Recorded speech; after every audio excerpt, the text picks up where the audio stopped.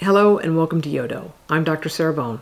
This is a place where we learn about serious illness and we talk about difficult topics in an open and honest manner. Dr. Lisa Tartaglia, who helps me with the channel, and I want to present patients and families the knowledge that they deserve to make the healthcare decisions that they need that's going to help them achieve their goals of care. Today, we've got a review of a book, The Emperor of All Maladies, a biography of cancer by Siddhartha Mukherjee. This was published in 2010. The book was written from the author's perspective of a few cancer types, the significant investigators, physicians, and those being treated for the cancer. This was prior to 2010 when he was in his training.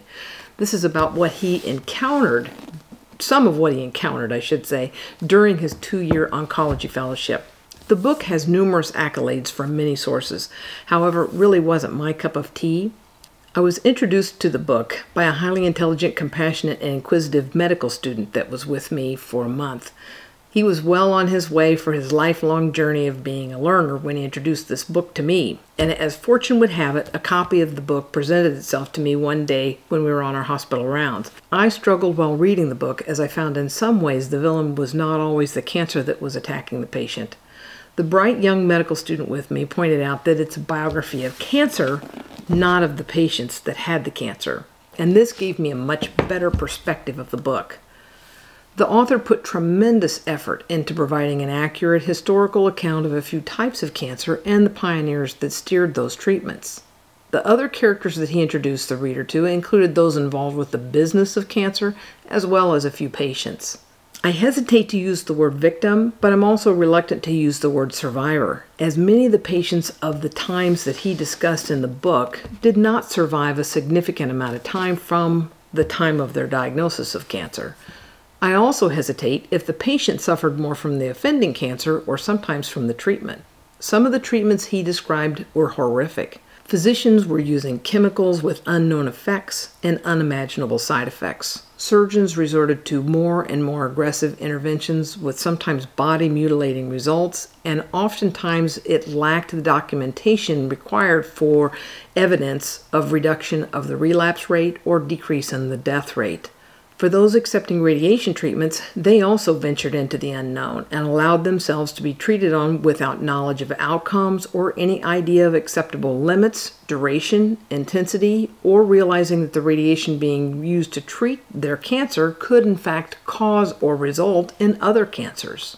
I'm going to read a quote from early in the book when he says, it was impossible not to be swallowed. I spent the end of evening rounds in stunned incoherence. The stories of my patients consumed me, and the decisions that I made haunted me. Was it worthwhile continuing yet another round of chemotherapy on a 66 year old pharmacist with lung cancer who had failed all other drugs? Was it better to try a tested and potent combination of drugs on a 26 year old woman with Hodgkin's disease and risk losing her fertility?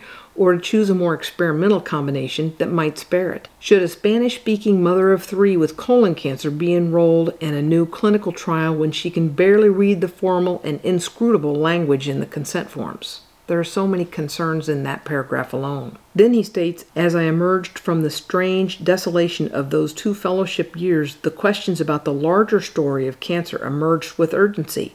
How old is cancer? What are the roots of our battle against this disease? Or, as patients often ask me, where are we in the war on cancer? How did we get here? And can this war even be won? His questions focus on the academic and don't really address the questions of quality of life, was the treatment worth it to the patient, and how? In what manner did the patient achieve their goal? What did the patient gain? Was their suffering reduced? Was their pain eliminated? Did their function and strength improve? Those are rhetorical questions of mine that aren't really answered in the book. To say the least, I admire the patients that were introduced in the book. To my mind, they're the true heroes. But as the medical student pointed out, this book is not about them. To me, the other characters of the book, the physicians and the cancer itself, intermittently change roles between villain and victim. We'll get back to that in a bit. The author defined the cancer as the limitless, unbridled, and distorted growth of cells as clonal deviation. Metastasis is Latin for beyond stillness, as the cancer cells migrate through the body to new locations. He addressed the causality of cancer is not civilization, But in the process of becoming civilized, we live longer and extend our lifespan, thus, the risk for cancer increases. The author recounted a conversation with a patient when he informed her that her cancer was curable and the chances were about 30%, just less than 1 in 3. Those are his words. He commented on the time of day, the city below the window, but he did not mention emotions, his emotions or the patient's. He stated that he informed her it was often curable.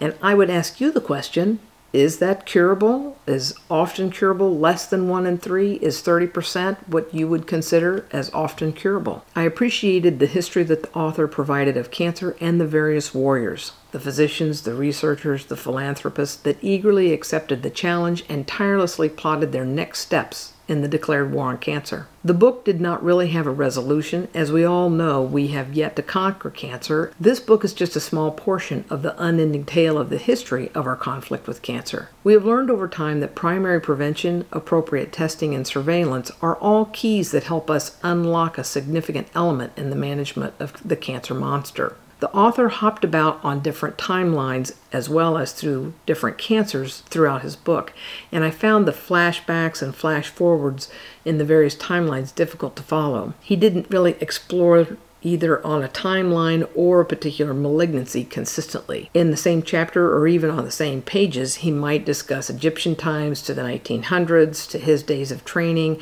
and then back again to Egyptian times. The author gave a detailed history of a few major players in the war to defeat cancer from his perspective. He referred to these individuals throughout the book, building on the narrative and the role that each person played. Sidney Farber was born in 1903, a pathologist that became a pioneering oncologist. Working with childhood leukemia patients, he was using an antifolic acid agent a chemist friend of his was developing. The author referred back to the work of these two individuals and their work on the various leukemias throughout the book, at the very beginning as well as at the very end of this book. He described the mood of the cancer ward that Dr. Farber worked in as being terrible and that they provided all that they possibly could to provide total care to those patients. However, he stated, death stalked the wards relentlessly and pediatric deaths occurred routinely. Throughout the book, he wove admired words of impassioned work and dedication of Mary Woodard. Mary was a philanthropist born about 1900 and married Albert Lasker, nearly 20 years her senior, and he introduced her to the world of advertising and obtaining donations and accessing what he considered and called unlimited funds. She was driven by several significant memories that motivated her to push forward gathering finances and personnel to power the cancer war machine. And she was quoted as saying, I'm opposed to heart attacks and cancer the way one is opposed to sin. Just 12 years into their marriage, Albert was diagnosed with colon cancer and he survived only a year after that. Albert's death was a devastating blow for Mary Lasker, and the person known by many as the fairy godmother of cancer research, crusading for a cure, was taken out of the limelight for a period of time. In the mid 1950s, she resumed to the society pages and resumed her role with a more relentless urgent, and insistent tone toward her work to finding a cure for cancer. The author gave accurate historical account of the Scottish surgeon Joseph Lister in the 1860s and his role identifying changes of a wound that indicated infection. This took me back to my own memory of learning this information during my training days. Upon reading one particular comment in the book, I actually made a startled noise that my family inquired about. In the neighboring town of Carlisle, Lister observed a sewage disposer cleanse their waste with a cheap, sweet smelling liquid containing carbolic acid. Lister began applying carbolic acid paste to wounds after surgery. That he was applying a sewage cleanser to his patients appeared not to have struck him as even the slightest bit as unusual. The author delved into the world of radiation by discussing Wilhelm Röntgen and highlighting his work with vacuum tubes, electrons, and X rays. He included Madame Curie, her husband Pierre, and their discovery and work with radioactive rich uranium. He connected Emil Grubbe and his inspired notion of using X rays to treat cancer, giving way to the new medical specialty of radiation oncology. Fairly, he discussed their successes, their failures, and their suffering because of their unprotected work with radiation. The author was honest in his horrific discussion of the damage done early in this field with indiscriminate irradiation by physicians that had little or no knowledge of the effects or side effects. An interesting side note was his discussion of the young ladies who were used to color the clock faces with radium containing paint. They would hand paint the faces, the hands, and the numbers on the clock so that they would glow in the dark. But soon the ladies who were doing the work also glowed because of their work with the radiation from the uranium that they were painting, and they suffered from radiation poisoning themselves. Also included in the book was William Halsted, a surgeon born in 1852 who suffered his first nervous breakdown during medical training as he split his time between school and surgical clinic responsibilities. And the author was quoted saying a pattern of Olympian exertion, taking himself and others to the brink of physical impossibility, and that became his hallmark.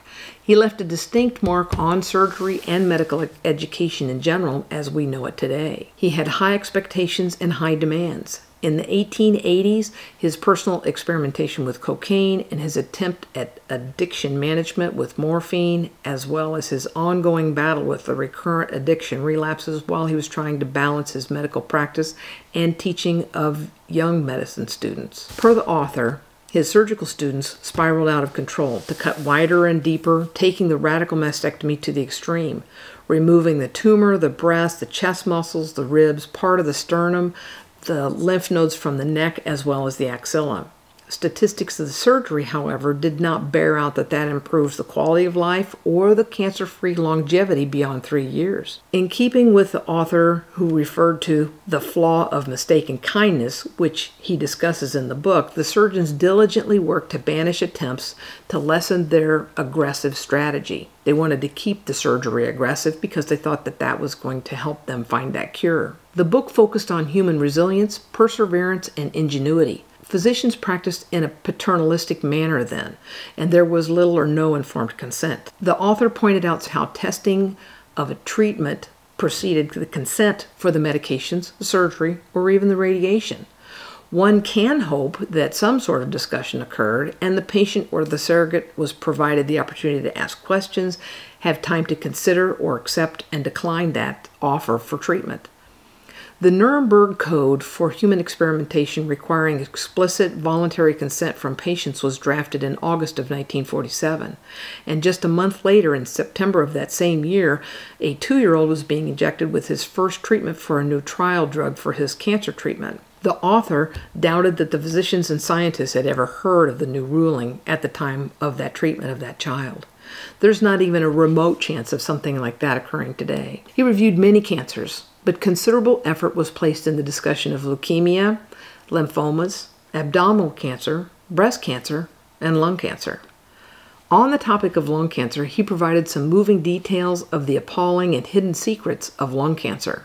As we've all learned over time how much the tobacco industry knew of these dangers and the addictive nature of smoking, but it took considerable effort and many years to shed light into that dark corner of the room because of money, and backroom campaigning. Society is not yet done reeling from the damage and increased cancers that have been caused by keeping that truthful information unpublished and keeping that data from reaching the mainstream. The cost of cancer treatment from lung cancer, care of the sick, change of the quality of life and function of those people, and the resulting deaths is not yet fully known. Contemplation of the details of that heinous scandal is just mind boggling. In summary, the author puts a tremendous amount of time into his research and providing information to the reader to educate them regarding the details of a few types of cancer and the people involved with treating those cancers. I found there were times that the villain of the book, Cancer, was almost heroized. The book for me seemed either to intentionally avoid the discussion of the patient plight and suffering, or that information just was not visible to the author, or it was too detailed for him to provide in this book. I do recall one reference from the author regarding a patient's comments about her cancer progression and nearing end of life when she stated flatly, I am ready to return home for the death I was to have a few years ago. But there was no follow up comment. She didn't say something like, I'm so glad for the time I've had. I feel like I've cheated death and now it's more on my terms. Or day by day, I've taken advantage of the time that knowing my time is going to be shorter.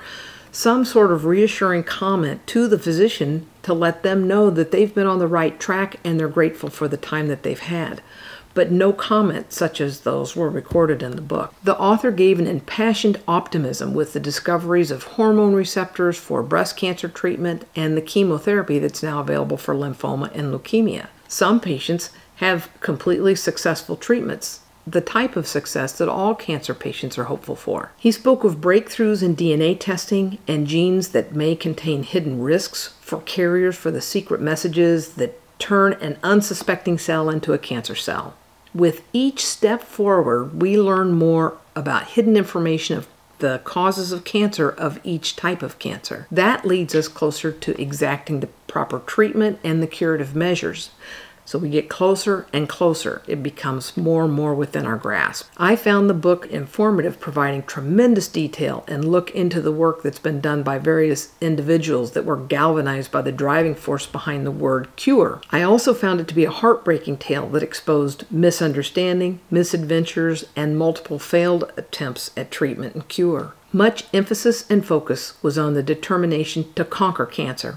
The book revealed the dedication and constant drive forward by so many to unravel the wicked web that cancer weaves in a person that can choke out life. The topics of finance were not approached with respect to cost to the patient, payment to the hospital or physician, cost of research. There was very little discussion about insurance and claim denials. The author provided a window into his thoughts as an oncologist, and this has given me new perspective. I appreciate your time today. If you have a question, drop it in the comment below and we'll get back to you. Bye now.